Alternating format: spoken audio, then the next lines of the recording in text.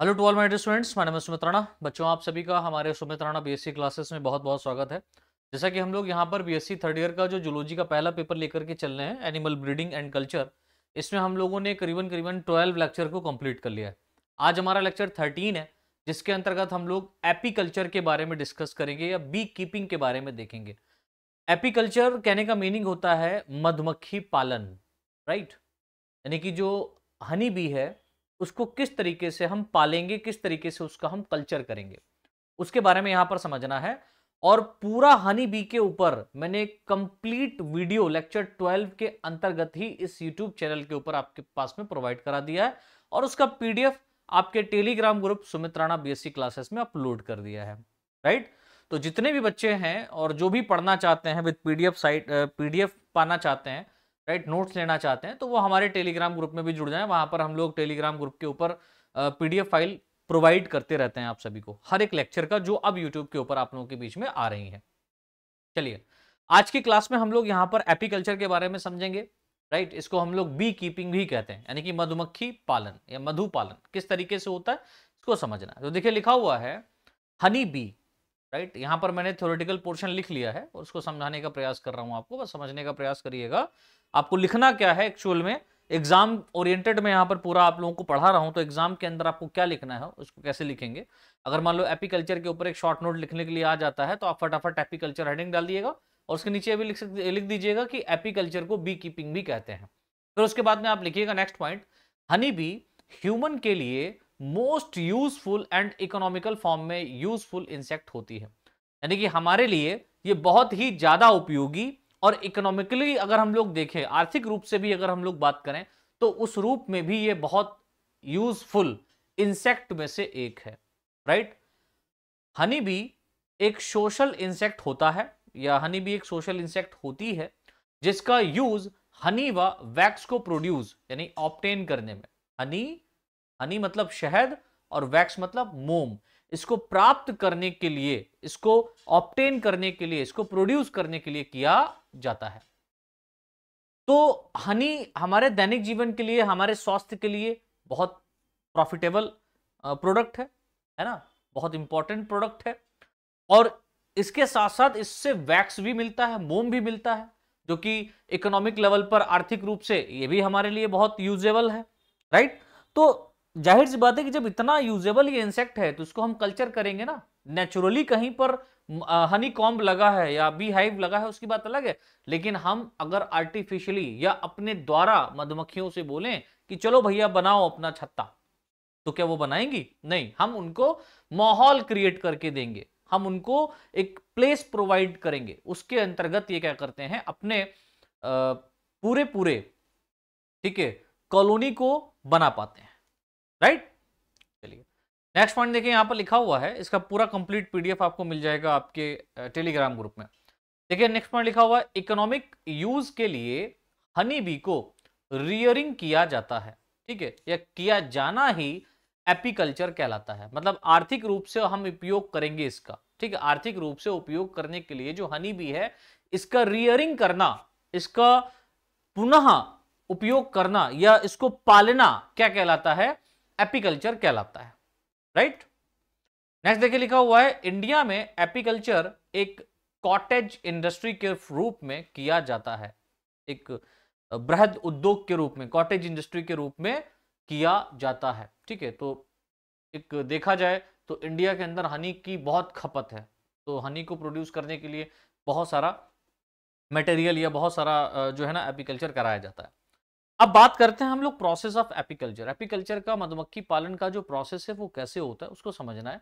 तो देखिए, लिखा हुआ है एपीकल्चर के लिए क्लाइमेटिक कंडीशंस के आधार पर हनी बी की एक स्पेसिफिक स्पीसीज हनी व वैक्स प्रोडक्शन के लिए सेलेक्ट की जाती है राइट यानी कि जो एपीकल्चर है है ना, मधुमक्खी पालन है, इसके लिए हम पहले क्लाइमेटिक कंडीशन देखेंगे कि किसी एरिया का क्या क्लाइमेटिक कंडीशन है, उसका वातावरण कैसा है। क्या उस एटमॉस्फियरिक कंडीशन के अंदर इस हनी बी को कल्चर करना उचित रहेगा कि नहीं रहेगा? ठीक है, इसके बारे में देखेंगे। फिर हम, मान लो कि क्लाइमेटिक कंडीशंस अच्छी हैं, ठीक हैं, बेहतर हैं तो हम क्या करेंगे? हम फिर एक हनी बी की स्पीसीज को, एक स्पेसिफिक स्पीसीज को क्या करेंगे? सेलेक्ट करेंगे हनी और वैक्स को प्रोडक्शन कराने के लिए। ठीक है? और इस स्पीसीज की रिक्वायरमेंट के अकॉर्डिंग ही उस प्लेस पर फ्लोरल प्रेजेंट होना चाहिए। और एक बहुत इंपॉर्टेंट बात है कि जो स्पीसीज आप ले रहे हैं हनी बी की, उस हनी बी की स्पीसीज के, है ना? उस हनी बी की स्पीसीज के कंडीशन के या रिक्वायरमेंट के आधार पर ही जिस एरिया में आप एपीकल्चर करेंगे, उस एरिया में फ्लोरा प्रेजेंट होना चाहिए। ये फ्लोरा कहने मतलब फ्लावरिंग प्लांट्स वहाँ पर पाए जाने चाहिए, अच्छे खासे। राइट आगे देखिए लिखा हुआ है किसी, आगे लिखा है, किसी प्लेस पर, किसी स्थान पर एपीकल्चर प्रोसेस फॉलोइंग स्टेप्स में कंप्लीट किया जाता है। तो जो एपीकल्चर का प्रोसेस है, ये निम्नलिखित रूप में या निम्नलिखित चरणों में इसको कंप्लीट किया जाता है। कैसे किया जाता है, उसको समझना है। तो देखिए, सबसे पहले यहाँ पर है selection of honey bee honey bee का हम सिलेक्शन करेंगे। यानी कि हमारे पास में जो हनी बी है या जो हनी बी की स्पीसीज या बी बी है, ठीक है, हनी बी, मधुमक्खी है, उसकी स्पीसीज को हम सबसे पहले सेलेक्ट करेंगे राइट फिर हम फ्लोरा फॉर एपीकल्चर उस स्पीसीज के लिए, उस एरिया में जो फ्लोरा है, उसको देखेंगे कि पाया जा रहा है कि नहीं पाया जा रहा है। फिर उसके बाद में मेथड ऑफ़ बी कीपिंग कराएँगे राइट तो सिलेक्शन ऑफ़ हनी बी क्या है? इसको समझ लो पहले।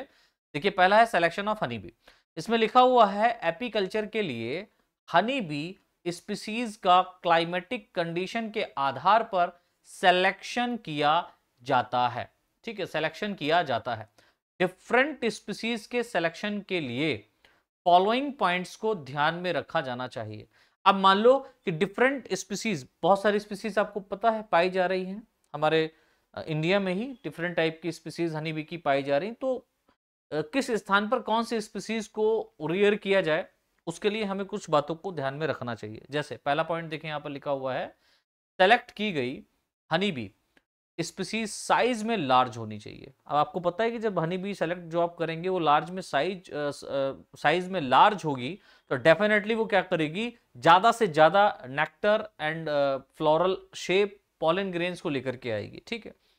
और इनमें हनी बी को परमानेंट हनी कॉम को बनाने की क्षमता होनी चाहिए। तो ऐसी भी हनी भी हमारे पास हो जो परमानेंट बनाए परमानेंट अपने कॉम को बनाए, अपने छत्ते को बनाए। ऐसा नहीं कि फ्लोरल जहाँ पर ज़्यादा बढ़िया मिल रहा है, वो वहाँ से उस जगह निकल जाए, है ना? तो ऐसा नहीं होना चाहिए। नेक्स्ट पॉइंट सेलेक्ट की गई स्पीसीज के वर्कर एक्सट्रीमली एक्टिव होने चाहिए। यानी कि जो स्पीसीज आपने सेलेक्ट किए है हनी बी की, उसके जो वर्कर है, ये बहुत ज़्यादा एक्टिव ही होने चाहिए। और इनमें नेक्टर एंड पॉलिन ग्रेन्स और इनमें नेक्टर और pollen grains right pollen grains को या अत्यधिक अमाउंट को कलेक्ट करने की क्षमता होनी चाहिए। तो इन स्पीसीज के अंदर नेक्टर और पॉलन ग्रेन को कलेक्ट करने की, ठीक है अमाउंट को कलेक्ट करने की बहुत ज़्यादा क्षमता होनी चाहिए। ये भी खास बात है। नेक्स्ट पॉइंट सेलेक्ट की गई हनी बी स्पीसीज द्वारा अत्यधिक अमाउंट में हनी प्रोडक्शन होना चाहिए। आपने कोई अगर मान लीजिए हनी बी को सेलेक्ट किया है तो उसके द्वारा बहुत ज़्यादा अमाउंट में जब तक हनी प्रोड्यूस नहीं होगा, तब तक आपके लिए वो एक घाटे का सौदा रहेगा, है ना? तो प्रोडक्शन ज़्यादा होना चाहिए। फिर उसके बाद में हम देखते हैं, फ्लोरा फॉर एपीकल्चर, है ना? एपीकल्चर जो हम कर रहे हैं, उसके लिए फ्लोरा कैसा होना चाहिए? तो देखिए, लिखा हुआ है, एपीकल्चर की मॉडर्न में, यानी वर्तमान समय में मॉडर्न में यूज़ की जाने वाली हनी बी स्पीसीज के सिलेक्शन के अलावा, मॉडर्न में यूज़ की जाने वाली हनी बी स्पीसीज के सिलेक्शन के अलावा, एक अन्य रिक्वायरमेंट इस स्पीसीज की रिक्वायरमेंट इस स्पीसीज की रिक्वायरमेंट अकॉर्डिंग फ्लोरा ठीक है? इस स्पीसीज की requirement according flora plant species का पाया जाना अति आवश्यक होता है। तो अब ऐसा ही नहीं कि आपने किसी भी हनी बी स्पीसीज को ले लिया, लेकिन उसकी रिक्वायरमेंट्स क्या है उसके फ्लोरा की रिक्वायरमेंट्स क्या है वो आपको पता ही नहीं है। तो आपके लिए व्यर्थ है एपिकल्चर करना। तो कोई भी स्पीसीज अगर आप सेलेक्ट करें तो उस स्पीसीज के लिए उस एरिया में जो फ्लोरा पाया जा रहा है, जो फ्लावरिंग होगा वहाँ पर, जो प्लांटेशन होगा, ठीक है, वो किस प्रकार का है? वो डिपेंड करता है इसके ऊपर, ठीक है। वर्कर अपने पास में स्थित फ्लोरा से नेक्टर व पॉलिन ग्रेन्स को कलेक्ट करते हैं, ठीक है। यह कल्टीवेटेड तथा वाइल्ड दोनों प्रकार के फ्लोरा के नेक्टर व फ्लावर जूस आदि को कलेक्ट कर सकते हैं। तो हनी बी जो है हनी बी जो है या हनी बी के जो वर्कर हैं ये क्या करते हैं? ये किसी भी फ्लोरा के चाहे वो वाइल्ड हो चाहे वो कल्टीवेटेड हो चाहे हमने उनको उगाया हो ठीक है प्लांट्स को चाहे हमने आ, वहाँ पर वाइल्ड प्लांट स्पीसीज पाई जा रही है उसके ही फ्लावर के नेक्टर क्यों ना हो? उन सभी के फ्लावर से नेक्टर एंड पॉलिन को लेकर के आता है अपने कॉम में ठीक है? नेक्स्ट वन देखिए लिखा हुआ है वर्कर के लिए नीम ग्वावा मेज है ना? नीम ग्वावा मेज मस्टर्ड रोज आदि मोस्ट बेनिफिशियल प्लांट स्पीसीज होती हैं। अब हनी बी के लिए अगर देखा जाए, जिसका फ्लावर बड़ा अच्छा है, जिसमें से नीम बड़ा अच्छा है ग्वावा अमरूद बड़ा अच्छा है रोज है ना? मस्टर्ड समझ लो मेज चना, इन सबके जो फ्लावर हैं, इन सबके फ्लावर का जो नेक्टर एंड पॉलन ग्रेन है वो बहुत ही अच्छा शहद बनाता है, ठीक है? अतः इस प्रकार का फ्लोरा हनी बी के पास में स्थित होना चाहिए। और ऐसा फ्लोरा हनी बी जहाँ पर आप बी कीपिंग कर रहे हैं या एपिकल्चर कर रहे हैं तो वहाँ पर इस टाइप का फ्लोरा डेफिनेटली पाया जाना चाहिए, तभी आपको बहुत अच्छा शहद या हनी प्रोड्यूस होगा या ऑप्टेंड होगा। नेक्स्ट हेडिंग हमारा है मैथड ऑफ़ बी कीपिंग। अब बी कीपिंग का मैथड कैसा है? कैसे हम बी कीपिंग को मैथड करेंगे? या उसका विधि क्या है? तो देखिए, लिखा हुआ है, एपिकल्चर में ह्यूमन की देख रेख में हनी बी को पाला जाना, बी कीपिंग कहलाता है। तो हमारे देख रेख में जब एपिकल्चर के अंतर्गत हम हनी बी को पालेंगे, या हमारी देख रेख में उसको पाला जाएगा तो उसी को ही हम क्या कहते हैं? बी कीपिंग कहते हैं। इंडिया में इसके लिए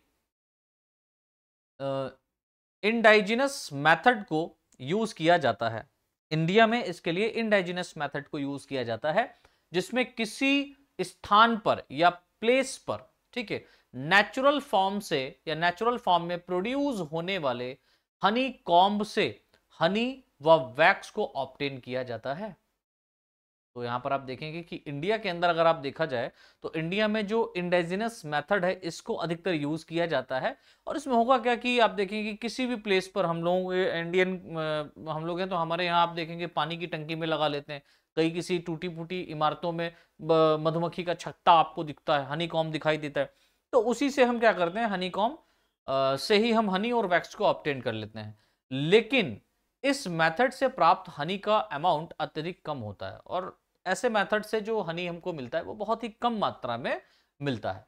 तथा इस मेथड में हनी कॉम को नष्ट करना पड़ता है, ठीक है? इसलिए यह मेथड यूजफुल नहीं है। तो आप देखेंगे कि पूरा हनी कॉम आप देखते हैं कि कभी कभी लंबे समय से आपने देखा है कि किसी पानी की टंकी पे मतलब आपकी वो वाली, घर वाली पानी की टंकी नहीं, जो नगर निगम में पानी की टंकी बनाई जाती है, उसमें आप देखेंगे कि ठंडा माहौल होता है ना वहाँ पर, थोड़ा सा पानी भरा रहता है, ठंडा इलाका रहता है, वो ठंडा एरिया रहता है तो वहाँ पर ये अपने कॉम को बनाते हैं, लेकिन कुछ समय बाद वो कॉम गायब हो जाता है तो जो तोड़ने वाले होते हैं, जो शहद निकालने वाले होते हैं, वो उसको तोड़ देते हैं तो हनी कॉम को नष्ट कर देते हैं तो ऐसा नहीं होना चाहिए। ठीक है?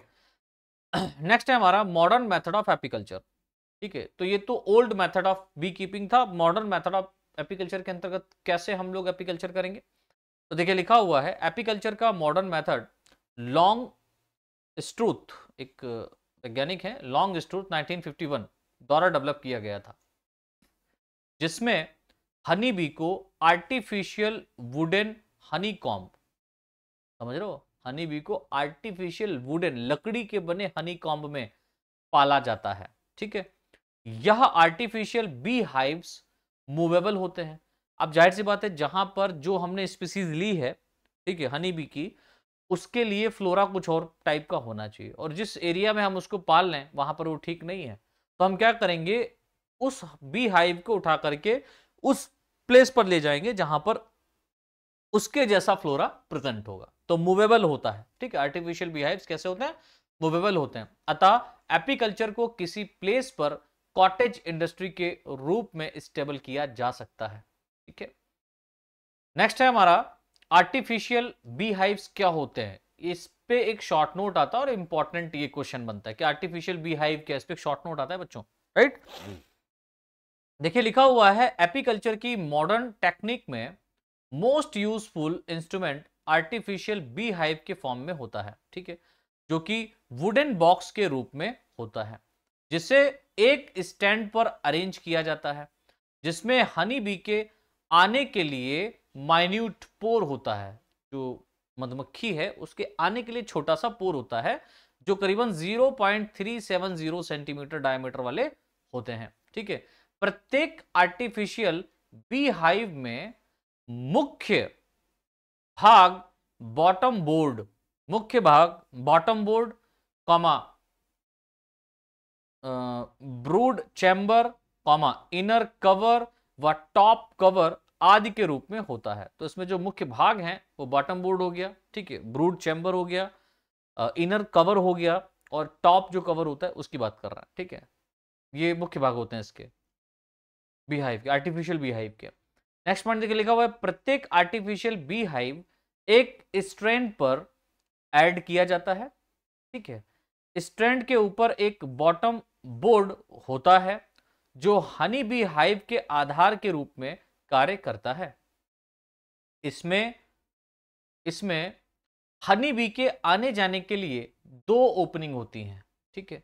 बॉटम बोर्ड के ऊपर ब्रूड चैम्बर होता है, जिसमें normally 21 one into fourteen centimetre size वाला 21 one into fourteen centimetre size वाला वुड फ्रेम अरेंज रहता है, तथा प्रत्येक फ्रेम में वैक्स लेयर तथा प्रत्येक फ्रेम में वैक्स लेयर पर हेक्सागोनल ब्लॉकेज की एक लेयर होती है, यह वैक्स लेयर बी हाइव को प्रोड्यूस करने में सहायता करती है। ठीक है? और ये जो वैक्स लेयर है, ये क्या करती है? बी हाइव्स को मधुमक्खी के छत्ते को बनाने में सहायता करती है, उसके चैम्बर को बनाने में सहायता करती है। ठीक है? नेक्स्ट वन देखिए लिखा हुआ है वुडन फ्रेम ब्रूड चैम्बर में वर्टिकली अरेंज किए जाते हैं। ठीक है? जो वुडन फ्रेम होते हैं वुड चैम्बर में ब्रूड चैम्बर में वर्टिकली अरेंज किए जाते हैं। ब्रूड चैम्बर का ऊपरी भाग एक अदर चैम्बर द्वारा कवर्ड रहता है, जिसे सुपर कहते हैं। ठीक है, जिनके द्वारा बी हाइव्स के एरिया को इंक्रीज किया जा सकता है। और इनके द्वारा बी हाइव के एरिया को क्या किया जाता है बच्चों? इंक्रीज किया जाता है। नेक्स्ट वन देखिए लिखा हुआ है सुपर चेंबर का अपर एंड वुडन पीसेस द्वारा कवर्ड रहता है। ठीक है वुडन पीसेस द्वारा क्या रहता है बच्चों? कवर्ड रहता है, जिसे इनर कवर कहते हैं। आर्टिफिशियल बी हाइव की सुरक्षा के लिए, जो आर्टिफिशियल बी हाइव से इसको प्रोटेक्शन देने के लिए एक टॉप कवर भी प्रोड्यूस किया जाता है, एक टॉप कवर, इसके ऊपर भी कवर बनाया जाता है, जो कि जिंक शीट द्वारा प्रोड्यूस किया जाता है, या सामान्यतः स्लूपी होता है। इसे नॉर्मली हम क्या कहते हैं? स्लूपी कहते हैं S L double O P Y sloopy. Next में देखिए लिखा हुआ है, आर्टिफिशियल बी हाइव्स के मेनी मॉडल्स, ठीक है, प्रोड्यूस किए गए हैं central honey bee research of Pune, जो सेंटर है आपका, central honey bee research of Pune Pune में इसका पूरा सेंटर रिसर्च रिसर्च सेंटर पूरा स्थापित किया गया है। इसके द्वारा प्रोड्यूस किया जा, इसके द्वारा प्रोड्यूस किया गया artificial bee hive model India में सर्वाधिक रूप से यूज़ किया जाता है। तो जो हमारा central honey bee research of Pune है, central honey bee research of Pune इसके द्वारा हनी बी हाइव्स को प्रोड्यूस किए गए हैं, जो कि अधिकतर इंडिया के अंदर एपीकल्चर के रूप में उसका यूज़ किया जाता है। तो ये तो बात हो गई हमारा, इसकी, कि किस तरीके से आर्टिफिशियल बीहाइव बनते हैं। शॉर्ट नोट इस पे आता है। नेक्स्ट हमारा क्वेश्चन बनता है प्रोडक्ट ऑफ़ एपीकल्चर अब देखिए एपीकल्चर के द्वारा या हमने जो यहाँ पर मधुमक्खी पालन किया है, उसके द्वारा जो हमें उत्पाद मिलेगा, वो क्या है? यह क्वेश्चन ऐसे आएगा economic importance of honey bee है ना?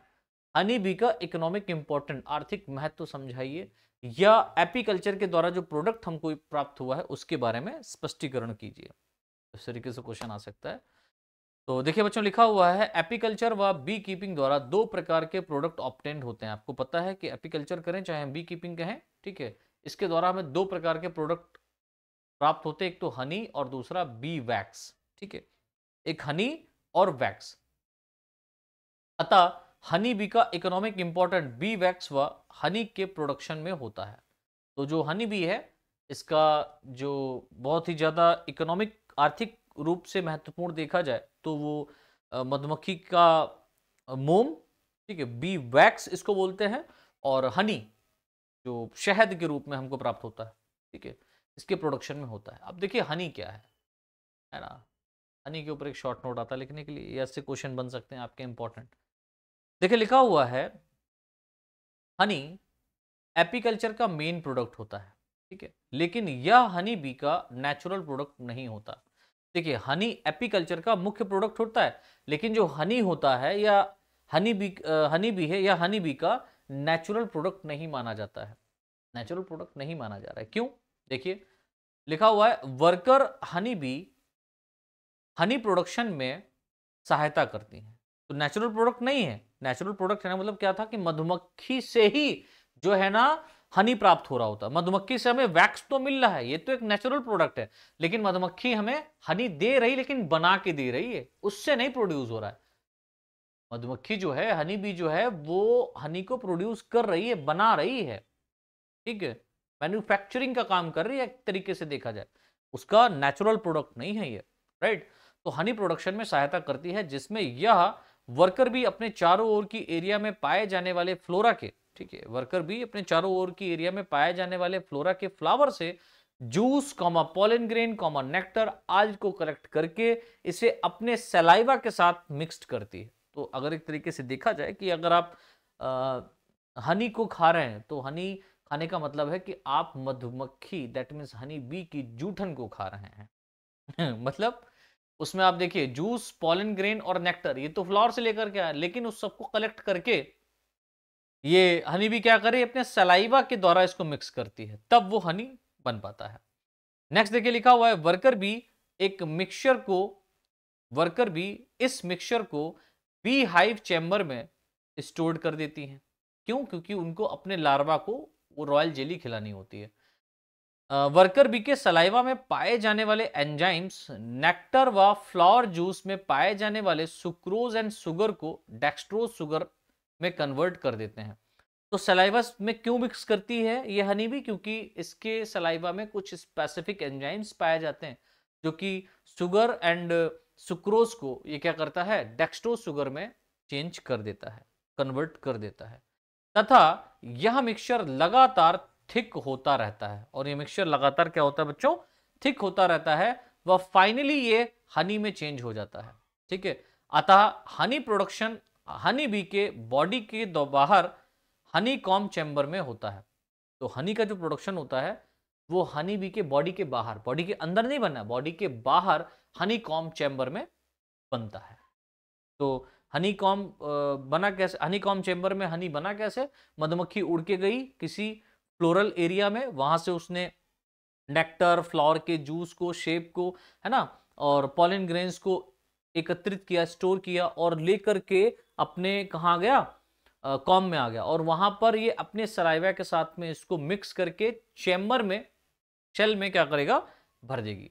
ठीक है, जिससे वो धीरे धीरे धीरे धीरे कन्वर्ट हो जाता है हनी में राइट नेक्स्ट में देखिए लिखा हुआ केमिकली हनी में dextro sugar 21 percent comma levulose 38 percent, है ना? Levulose sugar 38 percent, maltose 1 percent. देखिए डेक्स्ट्रोज शुगर का जो यहाँ पर अमाउंट है वो 28 21 परसेंट के आसपास मिलेगा।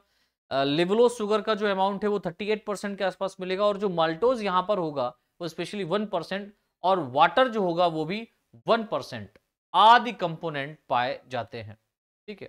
पाए जाते हैं। खास बात सामान्यता या नॉर्मली हनी बी का colour small sorry honey bee का कलर व स्मेल वर्कर द्वारा कलेक्ट किए गए फ्लावर जूस तथा नेक्टर के सोर्स पर डिपेंड होता है। तो हनी बी का कलर कैसा होगा? हनी बी का जो है ना स्मेल कैसा होगा? फ्रेग्रेंस उसकी कैसी होगी? वो डिपेंड करता है honey bee worker honey bee के द्वारा कलेक्ट किए जाने वाले फ्लोरल फ्लावर से। ठीक है फ्लोरा से। नेक्स्ट पॉइंट देखिए लिखा हुआ है हनी का जो न्यूट्रिटिव लेवल होता है वह एक्सट्रीमली हाई होता है। यानी कि जो शहद होता है, इसका जो न्यूट्रिटिव लेवल होता है ना, ये एक्सट्रीमली हाई होता है अत्यधिक रूप में हाई होता है, ठीक है? सामान्य रूप से देखा जाए तो लगभग 200 ग्राम हनी से ऑप्टेन न्यूट्रिशन लगभग 11 लीटर मिल्क व साढ़े तीन ग्राम मीट से ऑप्टेन न्यूट्रिशन के बराबर होता है। अगर आप 11 लीटर दूध पियोगे, तब जाकर के 200 ग्राम हनी मतलब समझिए 200 ग्राम अगर आप हनी खा रहे हैं तो इतना ज़्यादा अमाउंट में आपको यहाँ पर न्यूट्रिटिव वैल्यू मिलेगा कि जितना आप 11 लीटर मिल्क पीने से ले पाओगे या साढ़े तीन सौ ग्राम मीट खाने से ले पाओगे। अगर आप कॉर्निवोरस है तो। ओमनीवोरस तो होता ही है, लेकिन कॉर्निवोरस का मतलब मांसाहारी भी है आप। ठीक है तो साढ़े तीन सौ ग्राम कोई बंदा अगर मीट खाएगा, तब करीबन करीबन इतना हाई न्यूट्रिटिव वैल्यू आपको मिल पाएगा। या 11 लीटर दूध पियो, है ना? एक गिलास पीने में छक जाते हो 11 लीटर। तो 11 लीटर दूध कोई बंदा पिएगा, तब 200 ग्राम जो हनी है 200 ग्राम जो हनी है, उसका जो न्यूट्रिटिव लेवल है, उसके बराबर आ पाता है। तो याद रखिएगा, बहुत इंपॉर्टेंट है। नेक्स्ट पॉइंट देखिए लिखा हुआ है हनी को अत्यधिक लंबे समय तक स्टोर किया जा सकता है, जिसके पश्चात इसमें ग्रेन्यूल्स प्रोड्यूस हो जाते तो लंबे समय तक इसको स्टोर करने पर इसमें कण, यानी पार्टिकल्स या ग्रेन्यूल्स प्रोड्यूस हो जाते हैं, तथा इसका फर्मेंटेशन भी स्टार्ट हो जाता है। हनी का जो वैल्यू है हनी का जो वैल्यू फ़ूड के अलावा हनी हनी का वैल्यू फ़ूड के अलावा हनी का वैल्यू फ़ूड के अलावा, इसका वैल्यू मेडिसिन भी होता है। ठीक है मेडिसिन में भी होता है। तो हनी का जो अगर आप वैल्यू देखें तो वो केवल फ़ूड ही नहीं, बल्कि इसका वैल्यू आपको इसके मेडिसिनिक या मेडिसिन में भी देखने को मिलता है, ठीक है? मेडिसिन में भी देखने को मिलता है, इस बात को याद रखिएगा। राइट मेडिसिन में देखने को भी मिलता है। जैसे, लिखा हुआ है डिफरेंट मेडिकल सिस्टम में हनी का यूज़ हीमोग्लोबिन की अमाउंट बढ़ाने कॉमा ब्लड प्यूरिफिकेशन करने में, तथा डाइजेस्टिव सिस्टम को, या डाइजेस्टिव सिस्टम से संबंधित प्रॉब्लम्स को खत्म करने में किया जाता है। तो चाहे आयुर्वेदा की बात कर लें, चाहे एलोपैथ की बात कर लें, चाहे होम्योपैथ की बात कर लें, किसी की भी आप बात करें तो उसमें हनी एक अपना अलग ही रोल बनाता है, एक अपना अलग जगह बनाता है राइट तो हनी का हमारे बॉडी के लिए बहुत ज़्यादा न्यूट्रिटिव फॉर्म में यूज़ होता है, बहुत ज़्यादा मेडिसिनल फॉर्म में भी यूज़ होता है। ठीक है, हीमोग्लोबिन का लेवल आपका, अगर आप पर डे 100 ग्राम 50 ग्राम या 200 ग्राम हनी को ऑप्टेन कर रहे हैं, दो चम्मच सुबह, दो चम्मच शाम, ठीक है तो आप ये समझ लो कि आपका हीमोग्लोबिन लेवल हाई लेवल पे पहुँच जाएगा, हीमोग्लोबिन एक्सट्रीम लेवल पे पहुँच जाएगा, ठीक है, ब्लड प्यूरिफिकेशन भी अच्छे से होता है और डाइजेस्टिव सिस्टम में भी इसका बहुत बड़ा रोल होता है। तो ये तो बात हो गई हनी की, अब हम बात करेंगे बी वैक्स की। है ना? तो जो मधुमक्खी का मोम है, या मधुमक्खी का जो मोम है, वो कैसे प्राप्त होता है? तो लिखा हुआ है, यह एपिकल्चर का सेकेंड सिग्निफिकेंट प्रोडक्ट होता है, जो हनी बी का नेचुरल प्रोडक्ट होता है। ठीक है हनी बी का नेचुरल प्रोडक्ट है हनी बी से ये प्राप्त होता है। यह yellow and grey colour semi solid water में इनसॉल्युबल तथा तथा ईथर में कंप्लीटली सॉल्युबल होता है। तो आप देखें यहाँ पर इसका मेन फ़ंक्शन क्या है कि ये येलो कलर का है ग्रे कलर का है सेमी सॉलिड है मतलब आप इसको पकड़ के दबाएँ तो ये पिघल भी सकता है मतलब इस तरीके से हो जाता है। मोम, मोमबत्ती देखें ना, उसको पकड़ के ऐसे करते सेमी सॉलिड है। ठीक है वाटर में इनसॉल्यूबल है वाटर में अगर आप इसको डालेंगे तो सॉल्यूबल नहीं होता है, घुलता नहीं है, लेकिन ईथर में अगर आप इसको डालें तो ये तुरंत क्या होता है, घुल जाता है। राइट केमिकली अगर देखा जाए तो ये फैटी एसिड्स व एल्कोहल्स द्वारा प्रोड्यूस होता है। केमिकली फॉर्म में ये फैटी एसिड एंड एल्कोहल द्वारा क्या होता है? निर्मित होता है, बनता है। यह हनी बी वर्कर्स की वैक्स ग्लैंड द्वारा सेक्रेट होता है। तो जो वैक्स होता है, वो वैक्स हनी बी वर्कर की वैक्स ग्लैंड के द्वारा सेक्रीट होता है। देखिए, एक स्पीसीज यहाँ पर लिखी है एपिस डोरसाटा ठीक है? हनी बी की एक स्पीसीज है एपिस डोरसाटा द्वारा प्रोड्यूस बी वैक्स अत्यधिक हाई क्वालिटी का होता है। तो एपिस डोरसाटा जो है, इससे जो बी वैक्स है ना? इससे जो मधुमक्खी का मोम प्रोड्यूस हो रहा है, ये बहुत ही हाई क्वालिटी का होता है, अच्छी क्वालिटी का होता है। नेक्स्ट पॉइंट देखिए लिखा हुआ है बी वैक्स का स्टैंडियल लेवल इंडस्ट्रियल लेवल पर सॉरी बी वैक्स का इंडस्ट्रियल लेवल पर यूज़ किया जाता है। मुख्यतः इसका यूज़ पेपर इंडस्ट्री ठीक है? Point sorry paint industry cosmetic industry आदि में किया जाता है।